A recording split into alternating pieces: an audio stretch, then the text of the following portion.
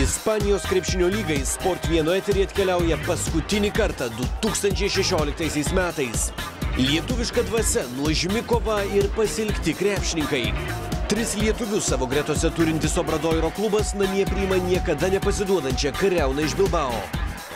Kitą trečiadienį gruodžio dvidešimt aštuntą dieną dvidešimt pirmą valandą obradoiro prieš bilbao basket tiesiogiai per sport vieną ir sport vieną hd